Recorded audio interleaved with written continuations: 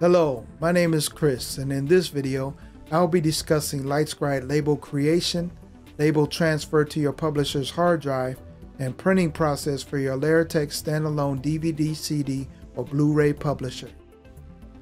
The first step is creating your label with a LightScribe template labeler.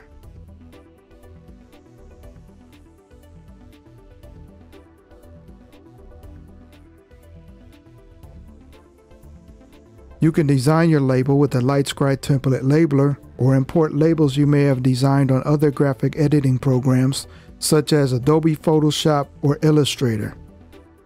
To import labels designed with other programs, you will need to save the label under image formats such as PNG, BMP, JPG, or JPEG. The most common format is JPEG. The next step is transferring your label to the duplicator's hard drive. Press the source button, select the hard drive, and press enter.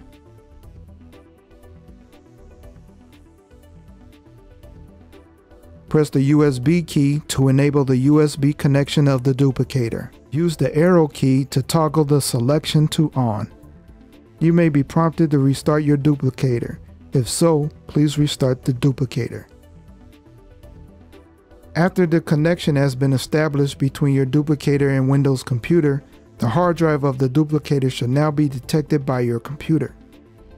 Double-click Computer on My Computer. You should now see a hard drive labeled Duplicator. If you open the drive, you should see at least three essential folders labeled Dupe, Label, and System. This indicates that your hard drive is recognized by the computer and configured properly. Next, select your image file and click the Open button under the Select Image section.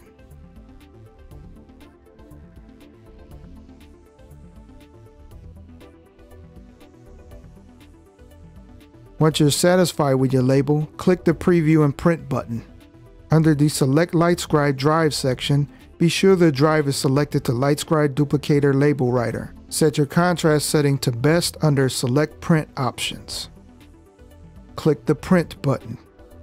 Navigate to the Duplicator drive.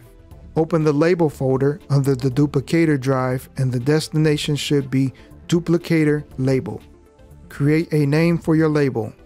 Try not to create a long name for your label so it could be easily identified on your duplicator. Click Save. The process is now transferring the label of the hard drive to the duplicator. When you receive a message that the LightScribe image file was saved and ready to be printed, click the OK button. Navigate to the duplicator drive with Computer or Windows Explorer and open the label folder. Verify that the label has been saved in the label folder. Press the USB button on the duplicator and set the USB mode to off.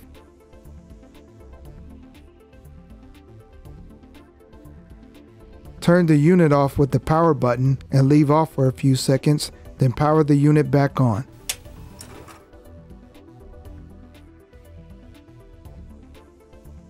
After the duplicator has completed booting, press the print key or select print on the main menu of the duplicator, then press enter. The please select label menu will appear. Use your arrow keys to select your label and press enter. Next, the counter selection menu will prompt you to choose the number of copies you want to make. You can select no counter if you prefer to copy continuously, or you can select specify counter to specify the number of copies 0001 to 9999 and press enter. When you're satisfied with the number of copies, press the enter key again. This will open the trays of all the drives. Load the drives with LightScribe Media, label side facing down. For best results, use a Aleratec LightScribe Media. Close the drive trays by pressing the drive tray button. The printing process will begin automatically after all of the trays have been retracted and the disk have been recognized. If the display prompts you to go, press the enter key to continue and the printing process will begin. When the printing process is complete, the drives will automatically eject. Your disk should have printed successfully. If you're printing additional disk, reload the trays and close them manually to continue. Now let's recap some important points. Design your label with the LightScribe template labeler. Make sure your source on your duplicator is selected to the hard drive before putting into USB mode. Be sure to verify your label has been saved to the duplicator's hard drive. Remember to load your LightScribe media label side down after the drive tray is open. For best results, use a Aleratec LightScribe media. I hope you found the information that I provided helpful. If you would like additional tips and tricks, please visit our support center at www.aleratec.com and check out other videos in our tips and tricks series. Thank you for watching.